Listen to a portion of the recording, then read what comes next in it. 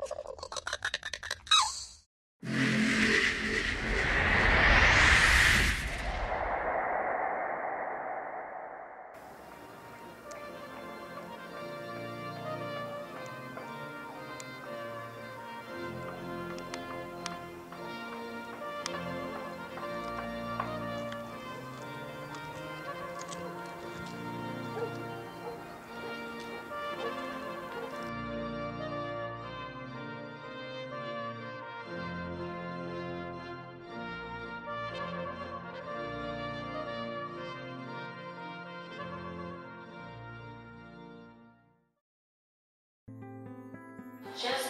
прибуття поїзда та номер колії будуть повідомлені додатково.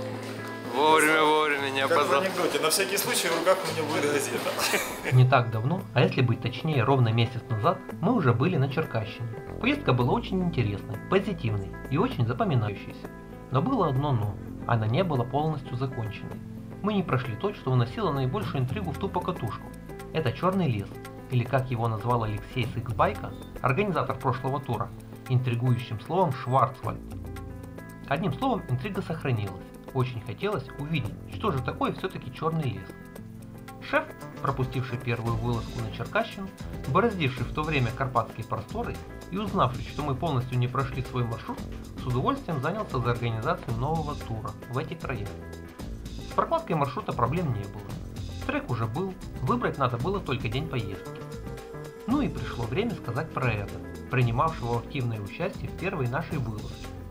Еще под конец первой покатушки он говорил, что надо сделать снова вылазку в эти края и закончить тур. И вот его день настал. Несмотря на поездку в будний день, он отменил работу, которая мешала покатушке. И мы едем, едем втроем, скоростной электричкой. Правда, она на полчаса отстала от графика, но для нашей страны это уже в порядке вещей. Приключения начались еще в поезде. Шеф умудрился регулятором подставки для ног заблокировать правую ногу, но все закончилось благополучно. Ни шеф, ни кресло не пострадало. Вот такое решение проблем. Освободились.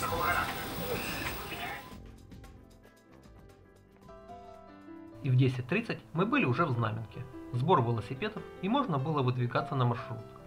Но шеф изъявил желание позавтракать. Несмотря на то, что в поезде мы немного перекусили и спокойно можно было продержаться 40 километров, пока не проедем Черный лес и не попадем в первое село. Но мы все-таки решили поесть. И это очень было разумным решением. Но об этом немного позже. Занесите в протокол. Слава отказался в городе, в городе, в районном центре Знаменка от флорентийской пиццы. И через час в 11.27 мы начали сегодняшний маршрут. С одной стороны поздновато начинать маршрут в полдень, но с другой стороны дистанция небольшая, чуть больше 60 километров, что давало нам некий выигрыш во времени. Первых 12 километров это движение по асфальту. За выездами из города дорога стала менее оживленной, и можно было ехать спокойнее и любоваться первыми желтыми листочками. Как-никак, уже начало сентября. Сразу за указателем Богдановка 5 километров, место знакомое всем по взрывам воинских складов с боеприпасами. Мы сворачиваем на долгожданные грунты и заезжаем в черный лес. Ну вот, Славка, наконец мы и добрались до этого легендарного черного леса, который до нас еще никто не проходил с наших знакомых. Мы будем первые. Сними, какой страшный заезд. Первое впечатление черного леса. Ну, по крайней мере, комфортно, ветра нету, воздух свежий, деревья зеленые, не черные, не черные. Но сумерков не чувствуется. И первое, что бросилось в глаза, это грунт. Почва такая, что если дождливая погода или ехать после дождей, то велосипед скорее ехать не будет. А представляешь, когда есть вода, здесь вообще жопа полная. Но нам повезло. Повезло вдвойне. В прошлую поездку мы изнывали от жары, а сейчас погода для поездки просто идеальная. Ехать свежо и комфортно. Почему этот лес имеет название Черный лес? До поездки разные соображения были по этому поводу. Самое интригующее – это то, что кроны деревьев закрывают небо, и солнечные лучи, слабо пробиваясь через кроны деревьев, создают ощущение сумерек. Но по всей видимости название пошло от названия местности – Чернолесье, лес действительно старый и реликтовый. А что говорит историческая справка? Общая площадь, занимаемая черным лесом, составляет более 26 тысяч гектар. Еще во времена Петра I этот лес принадлежал государственной казне и строго охранялся, а древесина использовалась исключительно для строительства флотов, укреплений и города Елизаветграда, старое название Кировограда. Согласно историческим данным, 200 лет назад черный лес занимал площадь в 3-4 раза больше, чем в настоящее время. Сегодня от этого лесного массива остались в основном разрозненные байрачные леса и несколько более-менее больших урочищ.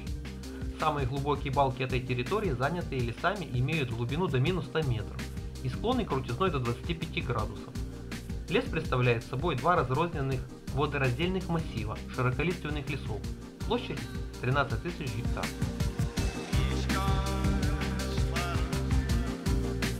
Проехав первый лесной массив за 45 минут, который имеет длину 7 километров, мы красиво спустились в село Веселый Кут. Село находится как бы в ложбине, между двумя участками лесов.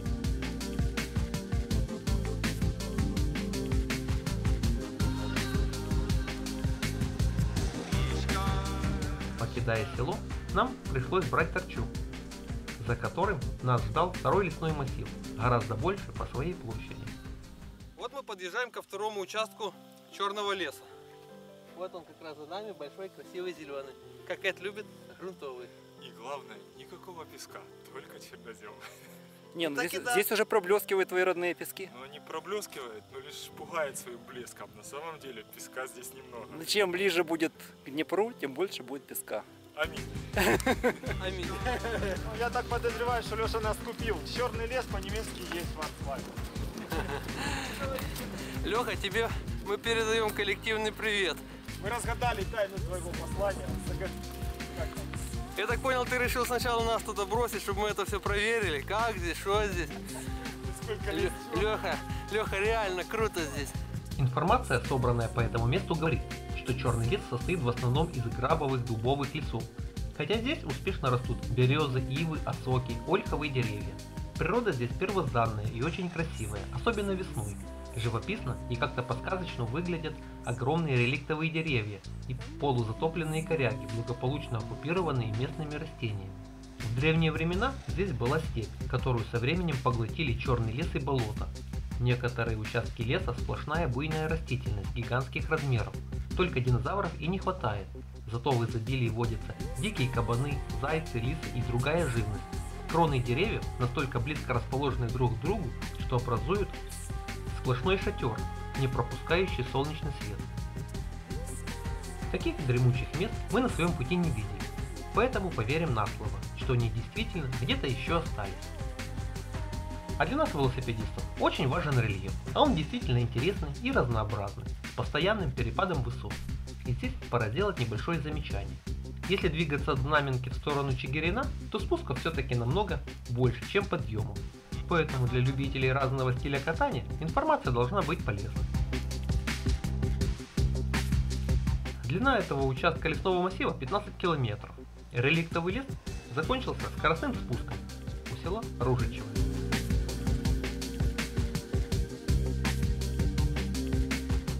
Проехали мы почти 40 километров. Время 14.40, две трети пути пройдено. До Чигирина осталось каких-то 20 километров. И, как говорится, ничто не предвещало беды. Село Ружичево – это то село, где я планировал устроить перекус какой-то местной лавке. Но село встретило нас разрушенными домами, которых было больше, чем целых. И мы не пожалели, что перекусили как следует в знаменке. Нет, меня покормили. Кормил меня Эд, когда я проколол в этом селе переднее колесо и назвал этот процесс приручением динозавра. Процесс доместикации, то есть приручения велогона, который занят качанием. Дайте пожрать. Вот, Спасибо. А то сдохнем где-то по дороге. Некому будет фильм делать. Ручной динозавр. О, классно, Ест с рук. кстати. Кормить. Скажу, в этой покатушке в лесах, в черном, в черном лесу удалось покормить живого динозаврика. Пошли Богдану. Место прокола было быстро, дружно, весело заклеено, и мы продолжили наш путь. Но мы проехали немного, каких-то 800 метров, и снова прокол. На этот раз уже пострадало заднее колесо, и тоже колючкой акации. Саня, блин, я опять прокололся. Не, опять задние. Как всегда, одеваем сначала беленькие рукавички. Это залог успеха. Это залог того, что э, еще урок повторяться будет. Говорит о том, что в лесах Чернолесья растут драконьи зубы. И тот, кто близко подходит к тайнам Черного леса, всегда получает зуб в колесо. Снова едем, пытаемся. Один единственный жилой дом в этой деревне. Следующее село, что было по пути, это Гненное. Так же, как и предыдущее, встретило нас с разрушенными домами по обе стороны дороги. Дворы полностью поросли бурьяном, да и сама, когда-то центральная дорога стала уже достаточно узкой. Поросла травой, местами по колено. Теперь мы проехали уже целый километр, и на окраине села снова прокол. Колеса как будто договорились дырочка, проколов, блин. пробита опять передняя. А всему виной акация, растущая здесь кругом. Блин, тренди, слушай. Что это за село такое надо будет посмотреть? Капец, слушай. Акация. Надо быстро заклеивать, довалить отсюда. Как только группа остановилась, как к нам подошел местный житель, и к нашему удивлению, как оказалось, это единственный житель села Гненое.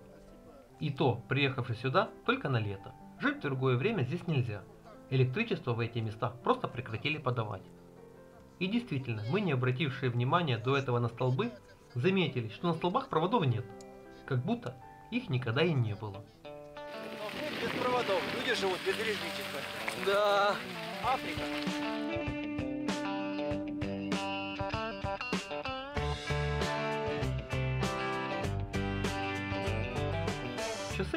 Показывали уже начало пятого. Времени потратили на два села и три прокола многовато. Но правда, и до Чигирина уже было рукой подать. В наших поездках есть существенный недостаток. Прокладывая маршрут по интересным местам, мы не уделяем достаточно времени этим достопримечательностям. Увидели, да и проехали. Полагаясь подчеркнуть нужную информацию потом, из интернета.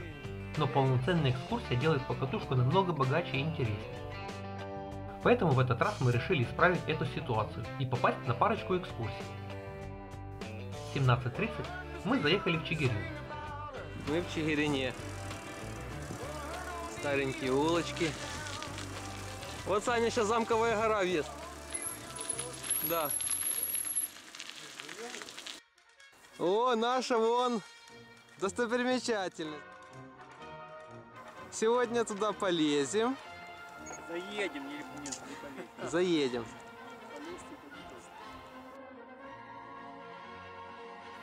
Это то, что мы не посмотрели. Сейчас узнаем, можно ли сюда будет зайти нам. Посмотреть резиденцию Богдана Хмельницкого. Вживую. Надеясь попасть еще на экскурсию в отреставрированную резиденцию Богдана Хмельницкого, вернее, это современная постройка, так как точных чертежей на Украине не сохранилось. Но нашим планам не суждено было сбыться. Резиденция, как и музей Хмельницкого, были закрыты. Сегодня понедельник, и у них выходной.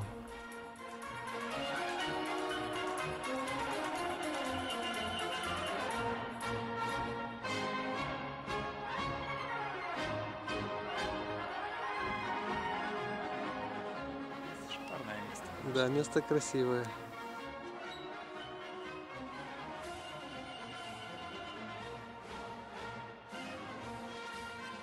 Не желая терять время, решили подняться на замковую гору. Правда, в прошлую поездку мы там были и поднимались пешком, а в этот раз заехали на байках. Прямо к Чигиринской крепости. Это бастион Дорошенко. А мы это в прошлый раз и не видели. 9 июля 1678 года 125-тысячная турецко-татарская армия во главе с визирем Карой Мустафой подошла к Чигирину, который оборонял 12-тысячный гарнизон под командованием окольничего Ржевского и осадила город.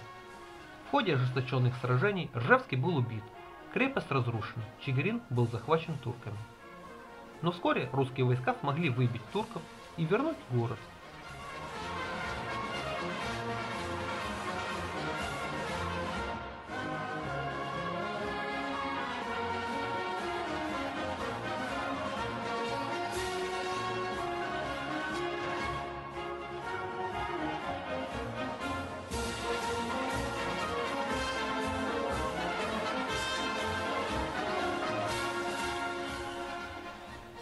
так потихоньку и подошел к концу наш сегодняшний богатый на события день. И хорошее тому завершение – это хороший ужин в уютном и недорогом ресторанчике «Шинок Посольский», что в центре Чигирина и недалеко от нашей гостиницы. Ну що, хлопці, вміють в Чигирині варити борщ чи ні? Это кайф. Ну, Просто кайф. борщ, да. І не знаю, як хто, да, а я від нього балдею, Можем да? посоветовать точку, где можно нормально поужинать в Чигирине после серьезной покатушки. Время было около 7 часов вечера, и ничто не мешало нам спокойно потрапезничать в кругу друзей и предаться душевным разговорам. А вечером всех сморил крепкий, богатырский сон.